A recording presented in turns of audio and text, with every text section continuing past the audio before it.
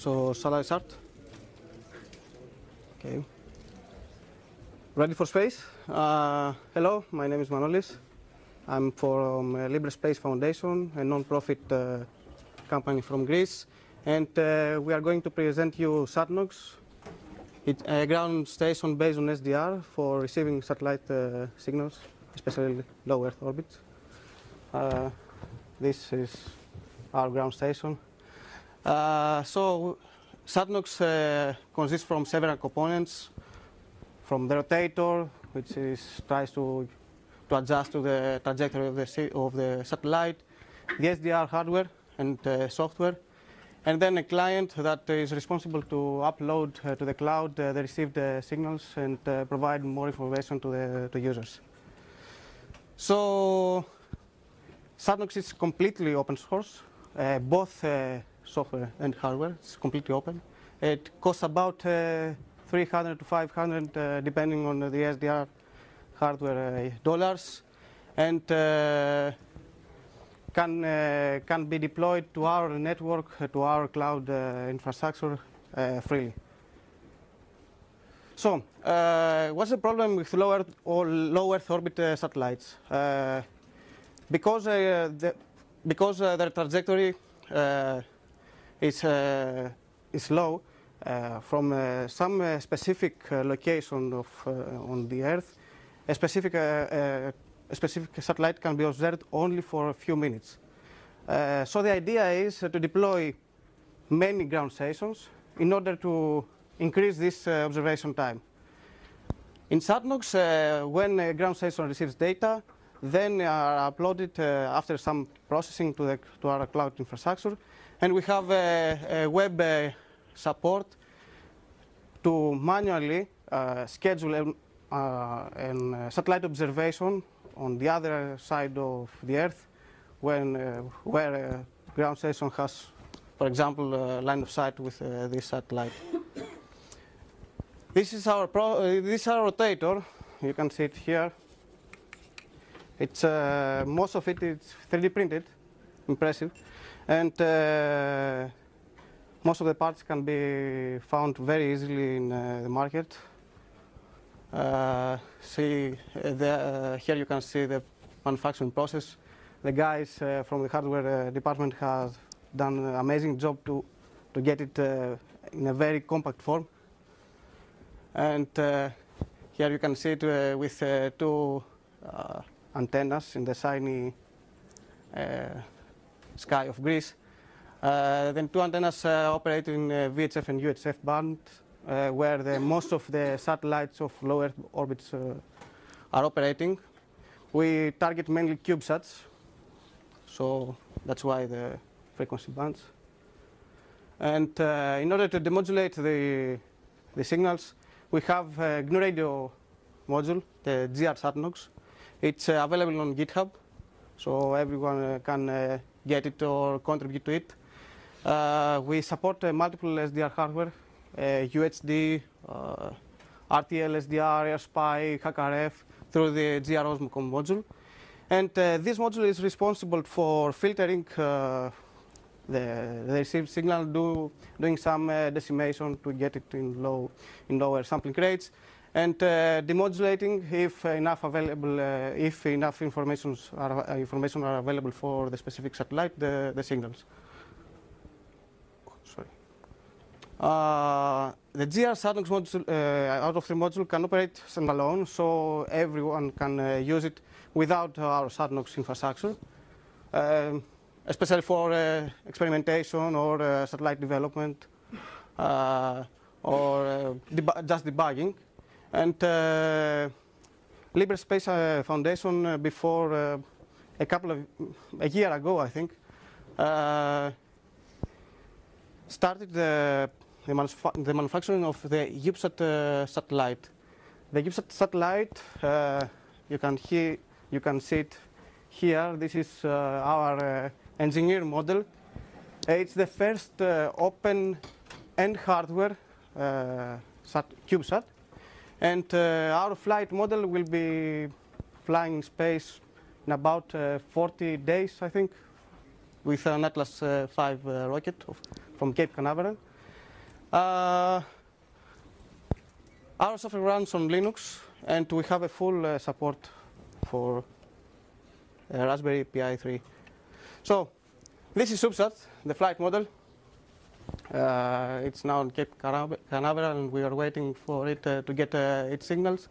And um, it's quite impressive how how the SDR and GNU radio uh, uh, speed speeded up the process of uh, development and uh, testing this, uh, this satellite. we managed in a couple of three months, if, I'm, if, I'm, if I recall well, to assemble it and uh, test all the RF components that are necessary to go in space and uh, receive the signals. So I encourage uh, people that are going to get involved with CubeSats to use SDRs are extremely powerful tools for debugging experimentation. And uh, this monstrosity is uh, the flow graph that uh, we use to get the, the signal from a CubeSat satellite. Uh, as you can see, it's a transceiver. Actually, we have a full command and control interface. Uh, we can send signals to the, to the satellite and receive uh, back the satellite has uh, a quite variety of commands that supports and uh, to get telemetry or uh, its health status reports and so on. So this is GR it has, as you can see, many blocks that are used mainly for uh, debugging, but uh, we have also some uh, decoders and demodulators available. And one, of, for example, one is a Morse decoder, Okay, many of the CubeSats operating more with uh, Morse signals. It's quite strange, but uh, it's true. Uh, uh Morse is uh, still uh, active out there, and um, we hope to to increase the number of blocks and provide some more some more debugging tools. For example. Um, a low Earth, a low Earth orbit channelizer, which is quite useful for debugging and experimentation and so on. So, uh, one of the major things uh, and uh, that uh, systems that receive uh, signals from low Earth orbit satellites is the Doppler effect, uh, Uh, which can be quite large in, uh, in the order of kilohertz. Uh, so, GR SatNOGS module tries to compensate the Doppler effect by calculating the trajectory of of the satellite and knowing its speed.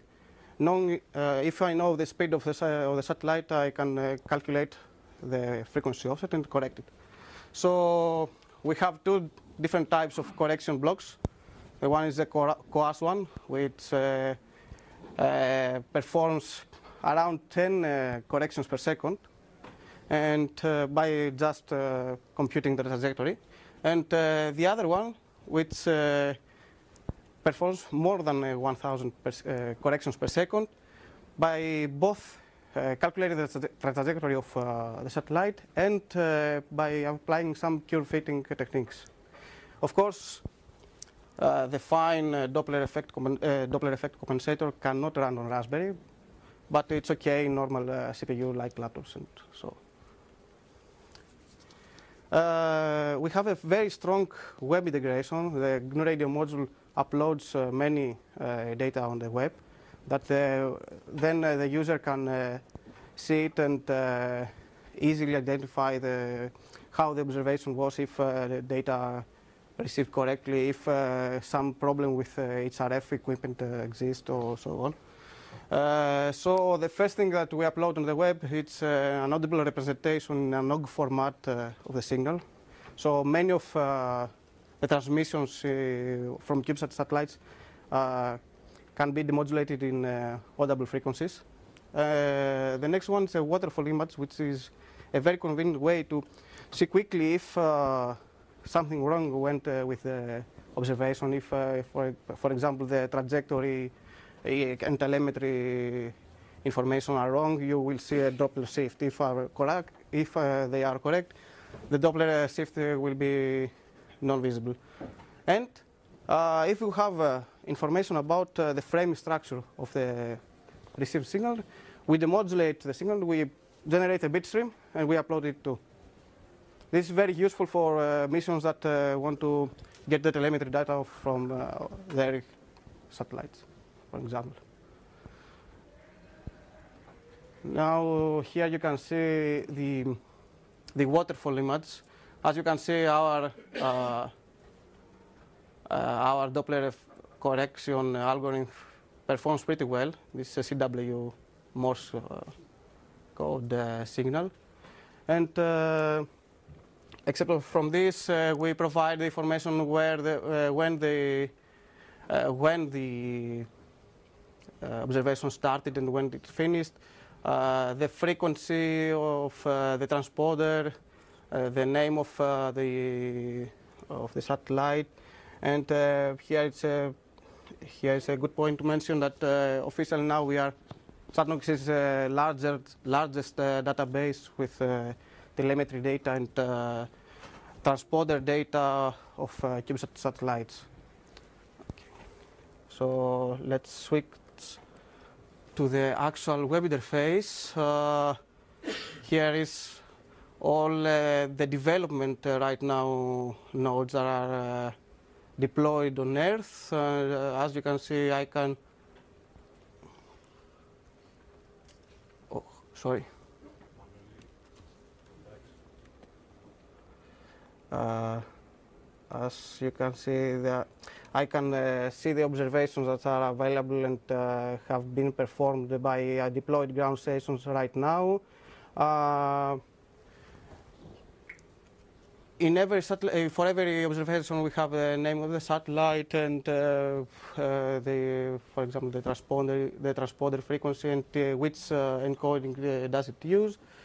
And if I select a specific one observation, uh, for example, I can see the uploaded uh, data and uh, the demodulated stream. So this, for example, is a a satellite that uh, transports FM uh, FM uh, transmissions like a repeater.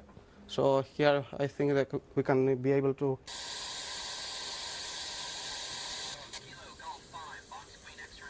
to hear amateur uh, operators that uh, try to communicate through the satellite with other some, some amateur uh, operators in the other side of the Earth.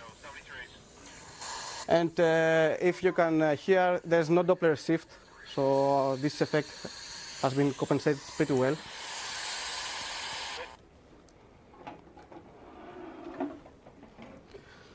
So another very interesting uh, feature that uh, we have incorporated is the automatic signal detection. many of the cubes that are up there in space do not operate all the, during all the all day. Many of them during night they close their transponders because they consume energy or when the energy levels are in critical uh, in critical state they close uh, their subsystems so, if, uh, or uh, for example, uh, we, we may have wrong trajectory or outdated information, so no signal have been received. In such case, we have an automated system that tags the observation properly. Uh, for example, the green one, uh, it indicates that uh, this observation has a strong signal with uh, the orange one, we are not very, the algorithm is not so, so sure. And uh, with the red, we, uh, the algorithm indicates that there is no signal to this observation. So we, with this way, uh, we can uh, trace out uh, the observation that contain no data. So uh, that's all for now, but uh, we are uh, now on, um, we have some plans to, uh, to expand our uh, ecosystem. One of uh, our ideas is to use MIMO in order to get rid of mechanical equipment and by using an, array of multiple antennas to perform beam forming and uh, target uh, to a specific satellite without with with no moving parts. George uh, below up there has done some remarkable, remarkable work on this. So if uh, he successfully receives his master thesis, this will be available too on, on the GitHub. Uh, and of course, we want to add more satellites. Uh, the problem with CubeSat is uh, that, that there is no standard way to perform framing. So every team uh, performs uh, each framing method or use some custom framing formats. So if uh, you are operator or uh, of a CubeSat or you somehow no information about framing uh, of other of a CubeSat uh, missions, please uh, come and contribute to our project. So that's for me. Uh, we have a booth uh, out there, so if you want to come and uh, see the satellite operating in real time, you can come and we are glad to provide more information.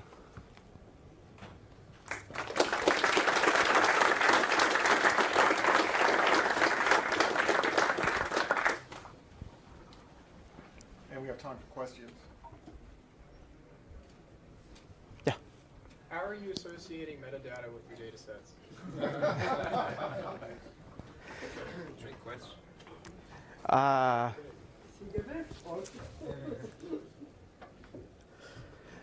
for now, we, phrase the problem differently. yeah, Do you have a good solution to that problem right now? no, Okay. No, it- talk to me. it's it's a great problem. It's a great problem, Yeah. but uh, I think uh, if uh, we somehow uh, provide uh, a way to for people to uh, do not not care about the reception of uh, their signal. Let uh, say them, okay, follow this framing uh, framing standard, or just inform us about your framing uh, format Uh-huh. in order to be able to retrieve uh, uh, your signal. Yeah. For us, it's very trivial to to build a GNU radio block or a, flow, a GNU radio flow graph to get to grab the data. The, the problem right now is the information. So uh, this was uh, our first, uh, let's say, goal with Cube, with uh, CubeSat. We we want to be all the information about this satellite to be open to the public and uh, see um, to show to the community if uh, there is information about it. You can uh, get, uh, you can uh, attract more people to it. Uh, so I think that uh, right now the, the problem is uh, the, there's no standardization or not, no, no, not standardization, uh, no access to information. If I do not have the framing, support, the framing format, it's quite difficult to do it uh, or to uh, try to exploit uh, by doing some uh, crazy stuff and uh, reverse engineering, for example, and uh, so on. Yeah, let's chat more later. So you have plans to support uh, distributed sending of? Uh, right now, no. You, but it's uh, in our plans. Uh, right now, you select manually uh, a ground station that you that uh, will have line of sight with a satellite um, in a couple of half an hour ago before, and the system places this scheduling, uh, this uh, scheduling observ- schedule observation uh, on that specific ground station, it starts automatically. Okay. Uh, right now we have uh, just uh, a list of you select the satellite that you want to observe, and the system provides you a list with the ground stations that will have a line of sight in the near future. Yeah. remote public too, or just um, Yeah, from uh, for this uh, specific satellite, we have a sat- uh, we uh, we have a public link. Can you please remember to repeat the question? Ah, sorry. Um, if uh, we have a, an, an uplink uh, command and control service, yeah, for this particular satellite, we have a, a full set of command and control interface that supports multiple commands. For example, I mean, using the, the platform so through, the, through your sorry. using your platform, can you remote operate the satellite using a different ground station? Yeah, yeah, yeah, yeah, yeah, yeah. I select uh, a ground station, uh, for example, in USA that has a line of sight with uh, my uh, with a UPSAT satellite, and then I can uh, issue commands there and get the result.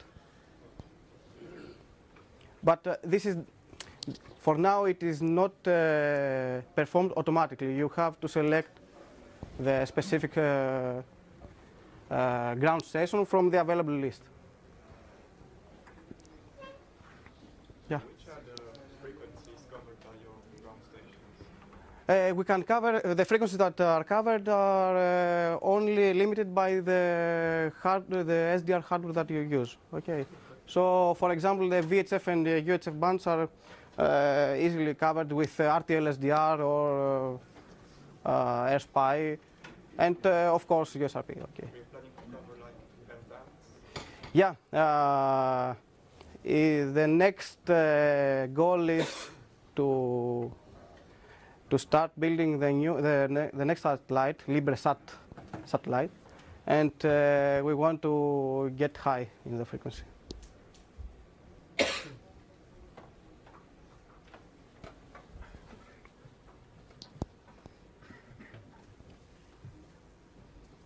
So uh, come and see us in uh, the booth, and uh, we'll provide you some more info if you would like.